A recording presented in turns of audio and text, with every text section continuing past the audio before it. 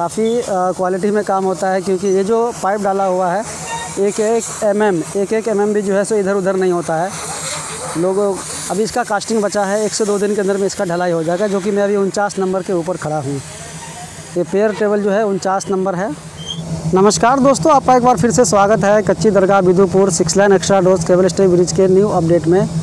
तो आज का जो अपडेट है, वो काफ़ी अलग अपडेट है, क्योंकि ये टेक्निकल अपडेट है। तो आज जो मैं आप लोगों को बेसिकली बताने वाला हूँ कि जो पेयर टेबल बनते हैं, जो कहीं पर भी हो, आपका हर जगह बनता होगा, जिस तरह से सामने आप देख पा रहे होंगे, सामने मेरा पचास नंबर है। और देख सकते हैं कि किस तरह से इसका जो पेयर टेबल बनता है तो पेयर टेबल के अंदर भी जो प्रोफाइलिंग का काम होता है। प्रोफाइलिंग बेसिकली जो ये जो पाइप आप लोगों को दिख रहा है इसको ही हम लोग प्रोफाइलिंग करते हैं और बहुत सारी पाइप है, जिसको हम लोग प्रोफाइलिंग का काम करवाते हैं। इसमें देख सकते हैं जो ये ट्रांसवर्स का डक्ट है, ये जो पतला वाला जो छोटा पतला जैसा पाइप जो दिख रहा है आपको ये ट्रांसवर्स का डक्ट है और इसमें देख लीजिए पहले से ही केबल डाल के हम लोग रखे हैं। अब इसको कवरिंग कर दिए हैं ताकि कंक्रीट के टाइम जो है इसमें जो है सो डस्ट ना पड़े या फिर कंक्रीट ना लगे पानी ना लगे जंग ना लग जाए। इसके लिए जो यहाँ से वहाँ तक जो भी है इसके अंदर केबल भी डाल दिया गया है। और इसके साइड में देख सकते हैं यहाँ पर एंकर कौन भी है और ये देख सकते हैं यहाँ पर जो पाइप के पास जो ये इतना जाली जाली जाली जो दिख रहा है इसको मेश बोलते हैं और हे, हेलिकल भी बोलते हैं। ये जो रिंग जैसा बना हुआ है यहाँ पर जो सरिया का रिंग जैसा बना हुआ है इसको एक्चुअली में हेलिकल रिंग बोलते हैं हेलिकल बोलते हैं। ये रिंग जैसा बना हुआ है, हर डक्ट के पास हर मुँह के पास। ताकि जब स्ट्रेसिंग करने के टाइम में फोर्स बने तो यहाँ पर इसको ताकत मिले। इसके लिए डालते हैं ताकि एंकर कौन हमारा धंस ना जाए बेरिंग धंस ना जाए। यहाँ पर आप देख सकते हैं, काफ़ी सारा पाइप है यहाँ से वहाँ तक। सोलह डक्ट है टोटल यहाँ से, मैं बता देता हूँ आप लोगों को। एक पेयर टेबल में जो अभी कच्ची दरगाह, विदुपुर का जो पुल बन रहा है, उसके पेयर टेबल में जो ट्रांसवर्स का डक्ट है। जो मतलब जो 32 मीटर चौड़ाई है, इसकी जो लंबाई है, कुल लंबाई 32 मीटर 400 है। तो 32 मीटर 400 के हिसाब से हमने केबल कटिंग करके डाल दिया है अंदर में अभी से ही। कंक्रीट से पहले हमने केबल केबल को डाला है। और ये जो बाकी, और भी डॉक्टर दिखाएँगे जिसमें जो है सो बाद में केबल डाला जाता है और बाद में स्ट्रेसिंग होता है। फ़िलहाल देख सकते हैं, यहाँ पर जो है ट्रांसवर्स का जो डक्ट है, जो पाइप आप लोगों को दिख रहा होगा। ये सारे पाइप में देख लीजिए, इसका प्रोफाइलिंग कंप्लीट है। और वो जो बड़े बड़े पाइप है, वो भी आप लोगों को हम दिखाएँगे, वो कौन सा पाइप है पाइप है, वो लॉन्गिटूनल का पाइप होता है बेसिकली तो आपको हम दिखाएँगे वहाँ से। चलिए दिखाते हैं आपको।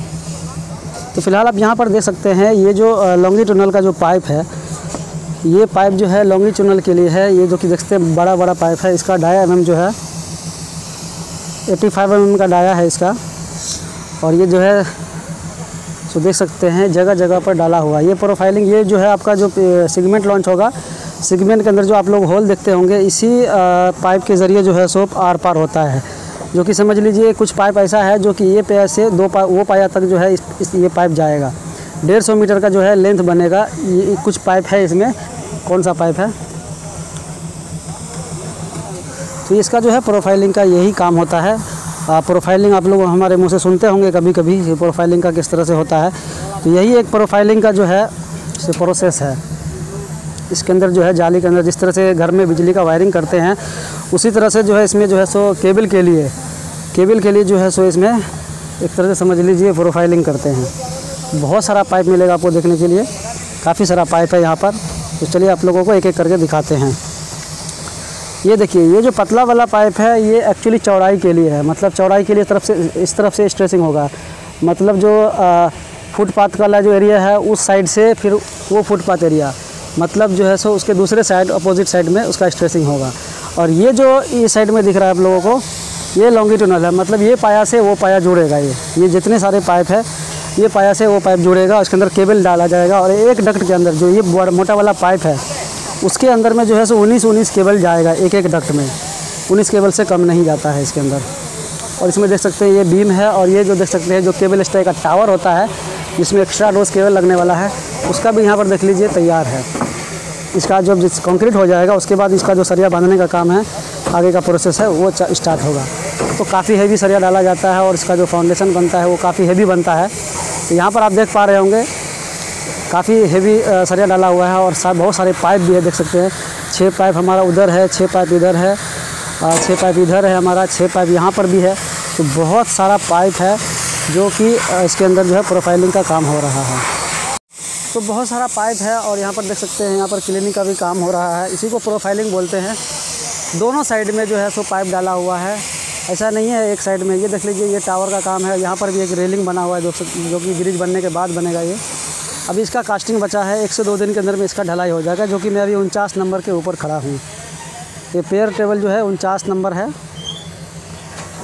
यहाँ पर देख सकते हैं।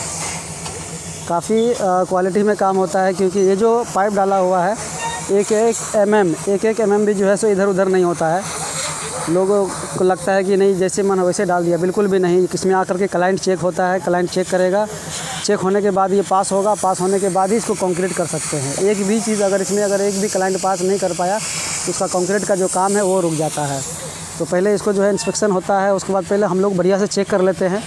उसके बाद जो है सो क्लाइंट को, आइए आप लोग चेक कीजिए, हमारे तरफ़ से ओके है। उसमें अगर कुछ फॉल्ट निकलता है तो काम को है, रोक दिया जाता है। उसके बाद फिर से उसको सुधार करके फिर से जो भी प्रोफाइलिंग का जो भी पाइप रहेगा, वो आरा टेरा जो भी रहेगा जो कि देख सकते हैं हमारे जो स्टाफ हैं, ये पाइप सीधा करने का जो है सो काम देख रहे हैं। कहीं पर पाइप अगर टेढ़ा मेरा है तो उसको जो है सो वहाँ पर बंदी करवा रहे हैं, सीधा करवा रहे हैं। क्योंकि इसमें पॉइंट मार्किंग किया हुआ है, जितने भी सारे पाइप है, सब में पॉइंट मार्किंग होता है, कि मतलब जो जितना एम पे रहना है, वहाँ पर जो है मार्किंग कर दिया जाता है मार्कर से। तो उसी के सेंटर में जो है सो इसको पाइप को सेंटर में लगा करके एक एम इधर, ना उधर। क्लाइंट भी आएगा तो चेक करके देखेगा कि एक एम इधर उधर भी नहीं होना चाहिए। तब जा के ये अप्रूव होगा। उसके बाद जो है सो इसका कंक्रीट का काम होगा। देख ले होंगे आप। आई होप कि आप लोगों को समझ में आ गया होगा कि प्रोफाइलिंग क्या चीज़ होता है। इसमें काफ़ी डिटेल्स है, काफ़ी डिटेल्स है, क्योंकि काफ़ी टाइम लग जाएगा आप लोगों को समझाने में एक एक स्टेप बाय तो मैं मोटा मोटी आप लोगों को इसलिए समझा दिया हूँ और दिखा दिया हूँ कि एक्चुअली प्रोफाइलिंग का बेसिकली काम होता क्या है। ये मान लीजिए समझ, जिस तरह से घर में वायरिंग आप लोग करते हैं, उसी तरह से जो है समझ लीजिए इसके अंदर वायरिंग होता है प्रोफाइलिंग के लिए केबल डालने के लिए स्ट्रेसिंग करने के लिए। तो स्ट्रेसिंग करने के लिए भी जो है एक तरह समझ लीजिए वायरिंग या प्रोफाइलिंग का काम होता है। तो आई होप कि आप लोगों को समझ में आ गया होगा। अगर ये इन्फॉर्मेशन आपको लोगों को अच्छी लगी तो वीडियो को लाइक कर दीजिएगा कमेंट कर दीजिएगा और दोस्तों में शेयर भी कर दीजिएगा। ताकि ये टेक्नोलॉजी वाला चीज़ है, सब लोग आप लोगों को नहीं दिखा पाएगा। कोई भी आप लोगों को ये चीज़ नहीं दिखाएगा। तो चलिए, धन्यवाद।